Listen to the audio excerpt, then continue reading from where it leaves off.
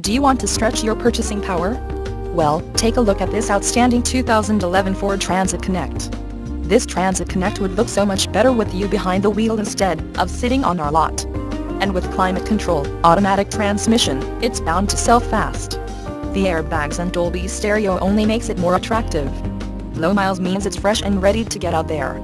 Come in today and take a look for yourself. Tindol Ford is the dealership for you.